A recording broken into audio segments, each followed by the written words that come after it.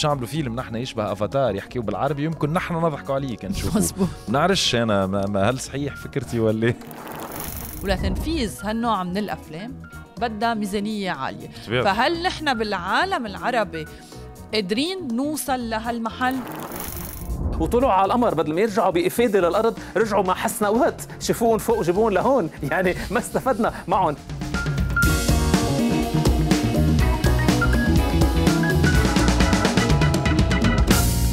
مرحبا وبودكاست جديد لهيدا الأسبوع.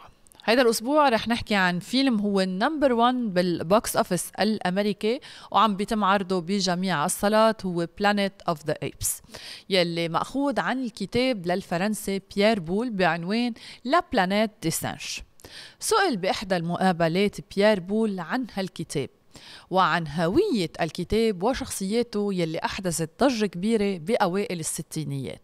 فوضح على أنه القرود بروايته منن إلا بشر بالكثير من تصرفاتهم وحدد بأنه كتابه هو هجاء لاذع للمجتمع البشري. وسرعان ما تحول نجاح القصة لسلسلة أفلام سينمائية وشهد آخرها النجاح يلي عم نحكي عنه واللي استعرضناه بال box office واللي كتير انشاف بأماكن متعددة trailer وأكيد على مواقع التواصل الاجتماعي. ووصلت الأرباح أنها تتخطى 130 مليون دولار أمريكي خلال ثلاثة أيام الأولى لعرض هالفيلم بالصالات فيلم مهم برشا نحكيو عليه Planète des singes Planet of the Apes الفيلم اللي أول فيلم من هالسلسلة هذه كان عام 1968 فيلم وعالم جديد من المغامرات السينمائية يحقق نجاح جماهيري كبير وعلى آه، تقريبا برشا أجيال مازالوا يتحدثوا مازالوا يحكيوا مازالوا آه، آه، يسمعوا بال Planète des singes لأنه فيلم كما نقولوا إحنا فيلم référence قعد في في التاريخ. فما قصة أخرى أنه في ظل حرب الفيتنام الطويلة واللي نعرفوا قديش أنه الحرب هذيك كانت بشعة وطويلة وتجارب أخرى بالإضافة لها أجريت في منتصف الستينات على اثنين مش شامبانزي بهدف أنه يبحثوا على إمكانية تعليمهم التواصل بلغة الإشارة. وهذا السؤال يسأل هل يمكن استخدام هكذا فيلم روائي خيالي مرجعا مكملا لتوفير فهم أفضل للحقبة متاع الستينات اللي نحكيو عليها؟ وطبعا ليس فقط كمرجع سينمائي. اليوم حديثنا على Planet of the Apes من أوله لآخره بتفاصيله بأجواءه الكل. نمشيو للياس مباشرة كالعادة نحكيو معاه نسألوه ونتناقشوا في هالموضوع. الياس أعتقد وأنه مع Kingdom of the Planet of the Apes اللي موجود تو اللي محقق هالأرباح الكل فيلم ينجح على كل الأجيال في كل وقت كان موجود فيه الفيلم هذا ينجح. لو أنا يمكن باش نسألك سؤال بطريقة إعلامية كلاسيكية باش نقول لك ما سر نجاح Planet of the Apes أما خليني نسألك بطريقة ال digital نحن والبودكاست والأجواء نقول لك شنية هال Planet of the Apes اللي يعني هالعالم اللي الناس كل تحب تعيش فيه أول شيء تحية سينمائية مميزه لكم ماري تيريز وأمين تحية. وذكرت أمر جد مهم أمين أنه قد إيه العالم عن جد انجذبت إلى عالم Planet of the Apes ولليوم بعده هلأ الفيلم الأخير Kingdom of the Planet of the Apes مثل ما ذكرته بالمقدمة حتى حقق النجاحات الكبيرة. مع أنه إذا بدنا نجي نطلع على الفيلم مباشرة وعلى موضوعه هو صادم إن كان بالستينات ولا إن كان حتى اليوم. يعني قد ما نتقدم زمنيا غير ممكن أنه يتقبل الانسان أنه من هو كان يتحكم به اللي هو إذا بدك المخلوق الحيواني وبالتحديد القرد يصبح هو الحاكم ويصبح الإنسان هو المحكوم به ويتحول إلى هذه النظرة البربرية الوحشية. ولعله هون أنا بقول لك السبب النجاح هو فعلا هذه القصة ال fascinante اللي فعلا عن جد مذهلة جدا لبيير بول وقد كان هو جدا ذكي لأنه قرر إنه ينتقد فيها المجتمع ولعله بعد الأذكى والأروع كان الاقتباس السينمائي. مع حدا مثل فرانكلين شافنر اللي لما أخذ هذه القصة الفرنسية من بيير بول عمل لها امركه وجاب ناس مثل مايكل ويلسون ورود سيرلينج اللي أضافوا لها يعني غير أنه الشخصية الأساسية كانت بوقتها شخصية رائد فضاء جورج تايلور بيلعب دور تشارلتون هستن لابسة هيدي آه، مثل ما بيقولوا بدلة النازا ولعله هون بدي اورجيكم شغلة من كتاب أكثر شيء بتعبر عن اللي رح أحكي عن فيل عن كتاب Affiches de cinéma لألبرتو كاستانيا أحد أهم الموثقين بالسينما الإيطالية والعالمية. بالافيش بوقتها رح اورجيكم وإن شاء الله ما تلمع الصورة على الكاميرا ما عملت تيست قبل معكم حق علي هون بتشوف أنت كيف تشارلتون هستن جاي تقريبا هو بالوجه الحضاري لابس بدلة النازا. وبتشوف هون كيف القرود هن مبينين بوجه الحكماء وبتشوف هون الأشخاص اللي كانوا هن أسرينهم من من متوقع من البشرية واللي هن كانوا خرس ما كانوا يعرفوا يحكوا بقى فقدوا اللغة. يعني قلب هو الطاولة بيير طاولة بيير بول بانتقاد جد لاذع إلى المجتمع. وشفنا من حد هيدي الأفيش كيف عمل هذا الاقتباس فرانكلين شافنر بطريقة جد ذكية وصار في انتقاد أكثر وانعكاس أكبر لما كانت تعيشه أمريكا من أزمة. يعني شفنا مش من زمان حكينا عن Civil War قد إيه كمان في كان عم يدق ناقوس خطر هذا الفيلم عن ما هي هلأ عم تمر في الولايات المتحده وأيضا كمان Planet of the Apes هو في ما بدي لك بس انعكاس تاريخي لأنه هون أنت ذكرت شغلة بالأول إذا هو مرجع هذا الفيلم مش بس سينمائي مرجع فلسفي وتاريخي وسياسي دون شك لأنه أنا بالنسبة لي أي كتاب تاريخ هو مثل بيقولوا توثيق تاريخي ولكن السينما فيها هال filmic discourse فيها هالخطاب السينمائي اللي أي حدث تاريخي بتعطيه بعد درامي مش بس عواطف انت لما تنقله بطريقة مرئية وصوتية فعلا على قد ما هو جاذب هذا هذه القصة لما انتقلت بهذه الطريقة الذكية على الرغم من أنها جدا صادمة ولما استخدم كتاب حتى مثل رود سيرلينج أعطونا احدى أروع النهايات أروع ال endings بتاريخ السينما من دون ما نقول شو صار بفيلم 62 بتوصل أنت لمطرح بتحس حالك إنه choc sur choc. مش بس فيلم choc هيك عادي. بتقول انه إف شو عم شوف قدامي. لهيك حقق نجاح كثير كبير ولهيك صار في كثير تفاعل مع العالم واللي هن بخافوا دائما من المجهول. إنه ماذا إذا هالإنسان البشري وهالمخلوق البشري إذا صح التعبير بيصوروا هيك الفيلم من بعد ما فعلا فظع وخرب في العالم. إن كان بكل ما في من جواره من موارد ومخلوقات وأمر فيها واستحكم فيها ماذا إذا انقلبت الطاولة وانقلب السحر على الساحر؟ لذلك في نقطتين جدا مهمين ما رح طول بقى كثير في هذا البعد. ولكن بدي أقول الفيلم بيصور نقطتين أو بعدين فلسفيين مهمين مهمين جدا. أمين لو دغري ما العالم تعرفتهم بعناوينهم ولكن بيحكي عن ال anthropocentrism أو كيف الإنسان بيعتبر حاله بكل اذا بدنا نبسطها مركز العالم. وأنه مثل ما ذكرنا كل ما حواليه هو لخدمته أو لاستثماره واستخدامه. ونقطة ثانية هي ال chauvinism أو هذه الفوقية اللي اليوم بعدنا بعدنا عم نشوفها. وبالفيلم كمان إذا بدك هيك كان عم يعملوا nuance أو عم يجربوا يلمحوا على الفوقية لل white supremacy فوقية العرق الأبيض بأمريكا وبالعالم. وكيف كانوا عم يتعاملوا؟ كان بعضهم كانوا بوقتها مع العرق الأسود وباقي الشعوب. يعني هي هذه هي ال chauvinism إنه هن معتبرين حالهم كانوا العرق الأسمى والبلد الأقوى. وشفنا شو عملوا بفيتنام وقد إيه كان في ويلات بوقتها. لذلك الفيلم اجى كثير مهم بوقته وبعده لليوم جدا مهم وليس فقط انعكاس تاريخي ولكن ولا حتى توثيق. هو فعلا رسالة سينمائية جد مؤثرة بتعيش معنا لليوم. طيب الياس آه، الفيلم فيه عدة نقاط مهمة لكن اليوم مع مرور كل هالزمن و45 سنة على إنتاج هيدا الفيلم وعلى إنتاج الأجزاء الأولى اليوم أتى هيدا الفيلم بال 2024 هناك تقنيات حديثة إن كان للتصوير إن كان للأنيميشن و تقنيات متعددة. قد استفادوا من ال motion picture إنهم يستعملوهم وقد استفادوا إنه يفرجونا قصص عديدة إلى جانب أكيد الرسائل يلي عم تحكي عنها. معك حق ماري تيريز لأنه أصلا تنفيذ هيك فيلم إن كان بالستينات يعني كان تقريبا شوي مستحيل ما كان حدا يسترجي يفوت على ال science fiction ولو ال science fiction بلشت من أكثر من 100 سنة ب 1902 مع جورج ميلياس ولكن بنحو قصير لما قرر يسافر على القمر وكان هذا الفيلم فعلا بنعتبره يمكن هو آه، بيقولوا نواة أفلام ال science fiction مع جورج ميلياس هذا المبدع السينمائي العظيم. ولكن حتى الستينات ما كنا عم نشوف ما ذكرنا لأنه أول شيء في تكلفة كثير عالية وكانت كل الشركات يمكن متخوفة تفوت بهذا ال genre بهذا النوع من الأفلام. لما أجوا بدهم يعملوه تخيل معي وقفت ثلاث ارباع الإنتاجات بهوليوود لأنه ما ضل في make up artist أو متخصص مكياج ما جابوه استخدموه على موقع set تصوير Planet of the Apes وقت جابوا جون تشامبرز وفعلا بوقتها حتى ما كان في أوسكار ل best make up بس أعطوه أوسكار تكريمي قد ما كان فعلا العمل رائع بال make up وكان ياخذ ساعات جد كبيرة. يعني حتى مش حكيم بالتحديد ولكن ساعات طويلة لدرجة في ممثلين حتى انسحبوا.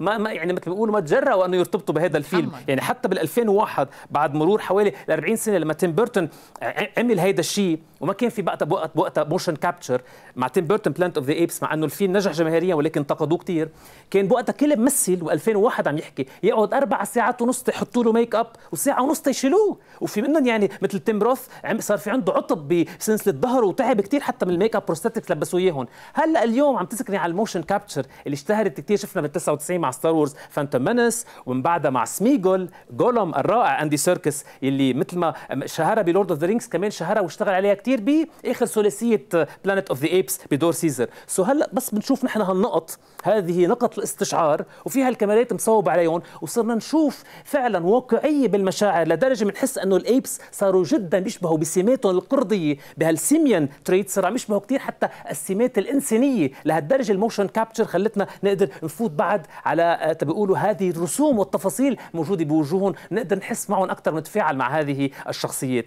لذلك دون شك خدمتهم التقنية ولكن ولما كانت حتى التقنية إذا فينا نقول متواضعة حتى اليوم كانت هذه الأفلام على درجة عالية من مثل بيقولوا التنفيذ آه، آه، والمصداقية لحتى مصداقية التقنية لحتى فعلا نجحت بصالات السينما. يعني بصراحة إنه التكنولوجيا دائما التكنولوجيا أكيد تبدل برشا حاجات. بين نحب نطرح موضوع نحن نحكيه على حاجة تقريبا في ال science fiction في الخيال.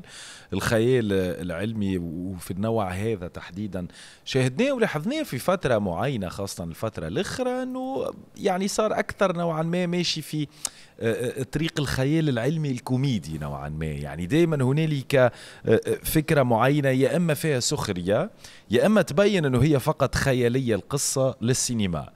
Planet of the Apes يمكن اللي يفرق وأنه يخلينا نسأل السؤال تخيل لو تصير. يعني تخيل لو يكون هذا واقع. علاش علاش بعاد بقية أفلام الخيال العلمي أو الأفكار اللي خلينا نقولوا نحن هكا شوية مشيت في طريق الخيال العلمي أو science fiction بطريقة معينة لتجسيدها بأفلام سينما وسلسلات ومشهورة ونعرفوا منها برشا. أما أما علاش ال Kingdom of the Apes الوحيد اللي فعليا وهذا اللي لاحظته من برشا عباد يقول لك إنه الوحيد اللي خليني نسأل يجي نهار يحكمونا قرودة ولا؟ يعني أنا أنا بوافقك الرأي أمين لأنه يمكن بس في هذا سلسلة أفلام أو سلسلة أفلام اللي بتحكي عن الذكاء الاصطناعي أو artificial intelligence مثل اي روبوت وغيرها اللي بتخلينا شوي نقدر آه، كمان يكون في عندنا هذا الخوف آه، أو عدم إدراك المجهول بين الإنسان ومخلوقات أخرى. إذا ما كانت مخلوقات يمكن تقنية أو مخلوقات حية أخرى مثل الإيبس. ولكن أكثر شيء تفاعلنا معها ومثل ما ذكرت أنت كان عندها هذا الوقع. ويمكن لو انعملت غير أفلام ما أثرت فينا هالقد. لأنه نحن عم نحكي عن نوع إذا بدك من تحوير لاحدى أهم النظريات بتاريخ البشرية وبتاريخ دراسة البشر وما حولها بالأنثروبولوجي اللي هي الدارويني الداروينزم أو الداروينية. لذلك هو بيير بول كمان أيضا استوحى من ما آه، من داروين وضعه داروين وهذا التشابك بين المخلوقات فيما بعضها من دون ما نقول التش... التشقيه صحيح. وأخذ هو من هذا التشابك والتشابه ووضعه في هذه القصة لأنه يمكن أقرب مخلوق. مثل ما قال هذا العالم داروين إنه ممكن يشبه الإنسان إن كان بحركة برجليه أو بحركاته أو بتصرفاته. ولما كمان حتى عم يقابلوه كانوا لبيير بول بإحدى المقابلات قال لهم أنا مما شاهدت بالحياة من الزو لما كنت تروح شوف القرده ولما كنت تروح على سوق البورصة بفرنسا قال له كنت شوف الإنسان على شوي بالبورصة يتصرف بطريقة همجية وبربرية أكثر من القرده اللي موجودين بالزو لأنه بنعرف نحن سوق البورصة يعني بنعرف قد إيه بيكون في جنون وفي مادس آه، فبقى آه، كانت هذه الطريقة اللي حكي فيها كانت جدا ذكية. لك ملا مفارقة عمل بيير بول. ونفس الشيء استعمل هذه الدروينيه وبعتقد أكثر شيء هي بتكون قريبة لنا ولفهمنا ولتدركنا إنه نقدر نحس إنه ممكن يهددنا خطر يمكن بيشبهنا. طيب الياس من أيام قليلة انتشر على مواقع التواصل الاجتماعي عن فيلم مصري بعنوان آه، أوسكار عودة الماموس يلي هو بيحكي عن آه، فيل آه، بيرجع الماموس يلي هو نوع من الفيل يلي انقرضوا وشفنا أكثر من مرة أنه انعمل هيك تجارب. هل برأيك أنه بهالنوع من التجارب إذا كانت بتفقد التقنيات العالية. ممكن تفقد حتى معناها وتصير هزلية غير عن كما نحكي عنه أمين كوميدية. تصير بطريقة أنه آه، يعني بيستخفوا بعقول مع كل هالتطور.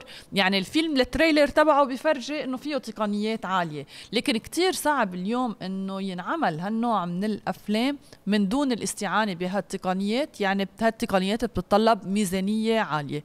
ولتنفيذ هالنوع من الأفلام بدها ميزانية عالية. فهل نحن بالعالم العربي قادرين نوصل لهالمحل ولا منا قادرين نوصل لهالمحل؟ شو رأيك بالموضوع؟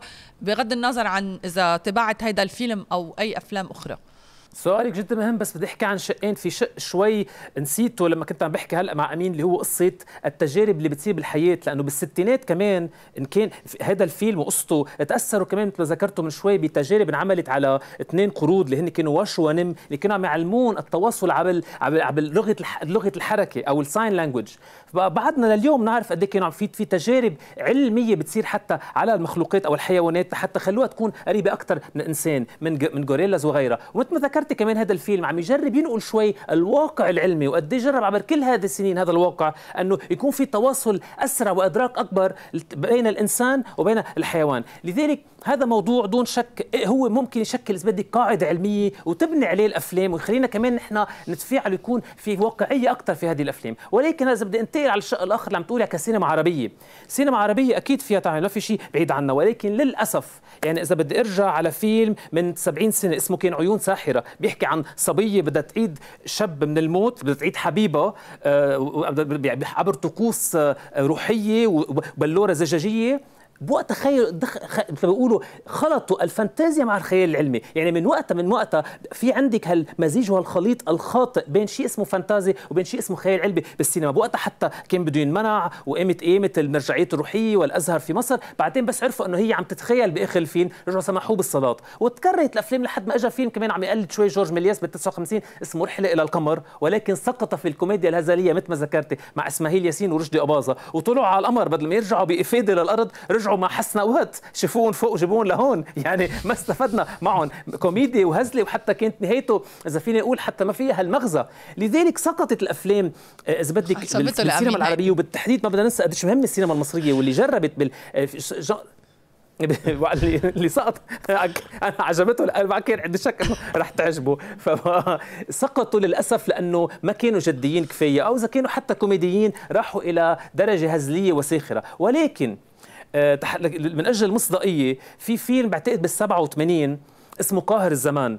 آه، هيدا لكمال الشيخ اللي عمل أفلام كثير بمصر وكان أول مين اقتبس الادباء مثل نجيب محفوظ وغيرهم الراحل.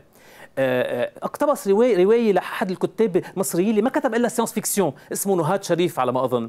بوقتها بهذا الفيلم ليه سموه قاهر الزمان لأنه هي قصة طبيب بده يجرب يحنط عبر الطرق العلمية وطقوس التحنيط الشهيرة أكيد في الحضارة المصرية الفرعونية. بده يحنطهم لحتى بعدين يرجع يوعيهم بس حتى يخلصهم من أمراض معينة. المهم حسينا أكثر فيلم كان مبني على بيقولوا على على قاعدة علمية ويكون ممكن يكون قريب للحقيقة وخاصة إنه جاي من كاتب متخصص بال science-fiction.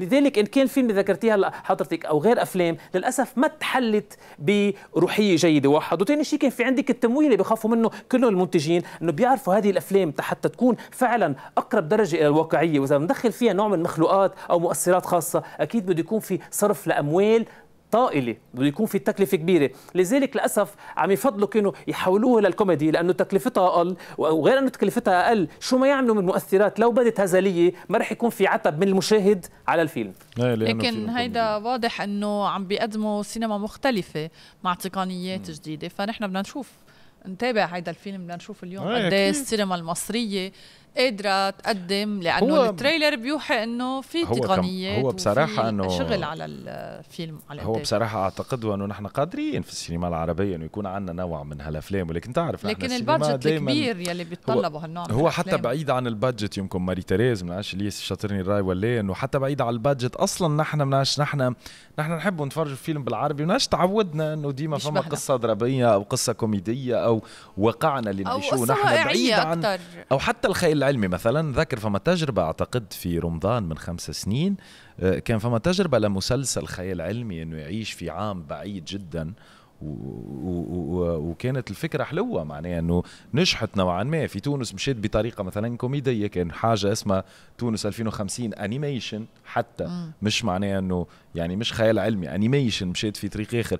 يعني فما بعض المحاولات اللي كما قلنا يمكن ديما نحن في السينما العربية تقعد تقعد حد حد الكوميديا أكثر لأنه تقعد بعيدة على جونا على أعتقد ال... على واقعنا إنه باش نعملوا فيلم نحن يشبه أفاتار يحكيوا بالعربي يمكن نحن نضحكوا عليه كنشوفه ما بنعرفش أنا ما هل صحيح فكرتي ولا شنو رأيك. أنا أكيد بوافقك الرأي لأنه كان في محاولات مثل ما بيقولوا منا live action adaptation كان في محاولات animation كتير وخاصة في محاولات جدا من تلاميذ الجامعات المبدعين بكل مم. الوطن العربي. وحتى راحوا على مهرجانات وبتدخل فيها ال science-fiction أو كان يبقى في مشهد مثلا مثل آه، فيلم الأخير اللبناني كان اسمه حديد نحاس بطاريات لما. بنشوف إحدى الشخصيات من دون ما أفضح كثير تفاصيل على الفيلم عم يتحول قسم من جسمه مثلا لحديد لأنه كمان هون دخل شوي عنصر ال science-fiction لأنه كان بده ياخذ الفيلم بغير منحى ويعطيه غير معنى المخرج تبعوله donc هي عم تبقى محاولات أو عم تكون بس تجارب ضمن ال animation لأنه مثل ما ذكرت وانت نوهت على نقطة مهمة أمين هي قصة ال budget وقصة كمان بده يكون في عندك ناس متخصصة وناس بده يكون في عندها تجارب. لذلك هذا الفيلم من دون. من دون شك هذا الشيء بيعلي بال budget تبع الفيلم. وفي دائما ثقه كثير كبيرة للمنتجين أمين لأنه هن بيخافوا هذا هذا الجار أو هذا النوع من الأفلام بعده عن جد ما تم صقله بالمنطقة العربية. ولكن أكيد ما في شيء مستحيل. و déjà التجارب اللي عم نشوفها مع الشباب آه، يعني جدا ملهمة ومشجعة. طيب خلينا نحكي معك في موضوع أنا لاحظته شوية وقت اللي عرفت إنه نحن مش نحكي على Kingdom of Planet of the Apes قعدت هيك نفتش نشوف الناس شنو تقول شنو تحكي على هالنوع من الأفلام. وبالصدفة عرضتني البارح عرفتك اللي عملوهم لي سونداج على السوشيال ميديا ساعات. عرضوني برشا معناها إنه فيهم أختي فيهم ألعاب نوعا ما آه، لعبة. أو كيما كيما تلعب مثلا بسؤال إنه شنو اللون اللي تحب؟ انت أخضر أنا أصفر. انت شنو الحيوان اللي تتخيله؟ انت حصان أنا مجدر شلون. المهم صبر الآراء اللي يكون موجود هذاك على عدة مواضيع. نلقى أغلب صبر الآراء في كل ما موجود فيه كلمة Planet of the Apes مربوطة ب Jurassic Park. فنحب نسأل الياس Jurassic Park ولا Kingdom of the Apes شو بتختار؟ Planet of the Apes معك دقيقة. ليك ليك أنا هلا هون عم عم عم تعني يعني كتير, كتير هلا انت اليوم هلا حطيتني بموقع جدا صعب لأنه اثنيناتهم محببين جدا على قلبي. يعني الياس الصغير كان مغروم ب Planet of the Apes وما سمعته وما ورثته من أهلي على هذا الفيلم ولما حضرته أنا وصغير ولما كبرت رح هلأ شاركك بشغله أول فيلم حضرته بالسينما لأنه للأسف كان في عندنا حرب لبنان ما كنت أحضر سينما كان Jurassic Park يعني ما فيك يعني مثل إذا بدك هون ميلت اليمين وميلت الشمال أنت عرفت كيف؟ من قلبي. so اثنيناتهم. لهم مركز. مح- مثل ما بيقولوا محل جدا استثنائي عندي. ها باهي. إذا بدي أختار للقيمة. التاريخية بروح أكيد مع Planet of. the Apes. هذه إجابة دبلوماسيه متاع هكا كي تبدا في الإعلام وقدام إيه. التلفزه واحد نحن بودكاست لا، لا، خلص. بس القيمة هيدا دليل على إنه اليوم. الياس. راضي عن Kingdom of the Planet إيه ليه هو هو راضي على الفيلم قد إيه بتحط له على عشرة؟ أه ستة ستة أوكي آه لا. راضي عليه وستة قليل ستة هكا هو. شو اللي يعني إذا كثير بدي يكون كريم سبعة لأنه رح أقول لك ليش سريعا. ال- التيمبو تبع الفيلم عانى جدا. يعني آه. ويست بول كنت متخيف منه متخوف منه أنا لأنه ما كثير حبيته بميز رانر. وخصوصا إنه استلم هلأ إذا بدك الدفه من مات ريفز اللي أبدع بآخر اثنين وحتى روبرت وايت قبل. لذلك أول ساعة بالنسبة لي أول مرة بتطلع بتطلع بتطلع بتطلع بالساعة بالسينما شفت حسيت إنه قطع ساعة لحد ما إنه ات بيكت اب وبلش يعمل build up أكثر سيناريو يعني كانت أول ساعة اللي عم يجرب يعمل فيها exposition وياخذنا على هذه القبيلة من القرود. من دون ما أحرق أكيد تفاصيل. الفيلم اللي ما حضروا بعد كانت جيدة وكان في نوع من الابتكار بالسرد القصصي ولكن نعم كان في عنده مشكلة بال tempo بالإيقاع بتطور الحركات وأكيد حتى الموسيقى حتى ما دعمته كثير لأنه هي كمان جزء من ال tempo لهيك حسينا بهذه الس- الساعة وباقي منه ساعة وثلث مع إنه هلأ كمان اليوم انصدمت لما عم بقرأ اللي هو عنده deleted scenes مشاهد محذوفة وعم يقرر يزيدها بعدين ل 30 ل 40 دقيقة قلت له يعني بقلب نيلنا فيك يعني إنه نحن هيك ومش مخلصين نيلنا فيه شو يعني بيحبوا تخيل يطولوا. الأفلام أنت انت فهمتش. تخيل الياس وهو في قاعه سينمات طلع على سيارته يعني إنه مش ممل يعني. الفيلم. طويل الفيلم خلص. فمعك حق بده ستة على كل لما كومي بننصحوا الناس أكيد يمشوا يتفرجوا. هذا كينجدوم اوف ذا بلانيت اوف ذا في آه، فانز لهالسلسلة إيه، وبحبوا هالنوع نوع. من أنا أنا الحق والله على حديث جوراسيك بارك إيه أنت مثلا أنا أكيد جوراسيك بارك ولا عمري حبيت كينجدوم اوف ذا بلانيت ولا عمري آه حبيتهم أنا بفضل السعيدين على ولا ولا على فكرة والنسخ الكل ولا قريب كملت فيلم. أكتر. ولا مرة لا، كملت فيلم ما- لأنه أصلا أنا حتى بالحياة ما- ما بحب لسانج نخاف منهم مان. هذا اعتراف ضمني في بودكاستنا إنه هلأ نخاف اكثريتنا منهم. بنخاف منهم يعني. إذا لا لا لا أنا نخاف يعني. عندي فوبيا من القرد. آه هالقد إيه لهالدرجة. يعني ما بتروح على الزو ولا مرة. من اللي أنا صغير ما نحبوش. ولا مرة حاضر مونكي ترابل لا لا. أي حاجة في علاقه أعطيك حاجة. المخدوم اللي تتذكر بيضحك. تتذكر في فرانس وقت اللي كان روس عنده آه، شو اسمه آه، مارسيل. مارسيل السعدان بتاعه. أنا الحلقات اللي كل فيهم. مارسيل ما تفرجتش فيها. بالاخر مان وين را مارسيل؟ نعدي شكرا فهيدا الياس هيدا اختيار آه، أمين اختيار. كمان يلا. بيتفق معك. رح نبقى نعمل بودكاست كمان عن Jurassic عن شكرا. لك يا الياس يعيشك الياس شكرا. يعطيك صحة. و- وبنتركك تتابع أحداث مهرجان كان. وأفلام يلي رح تنزل هيدا الأسبوع ونحن كمان إيه، خلينا نحكي الأسبوع الجاي. على الموضوع إن شاء الله يلا إلى اللقاء.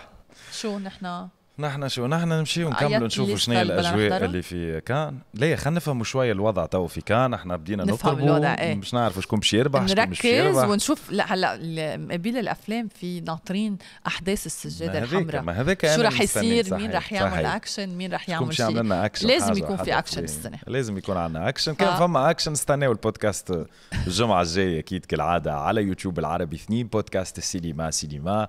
وكل أسبوع موضوع سينما جديد شكرا وإلى اللقاء bye bye, bye. bye.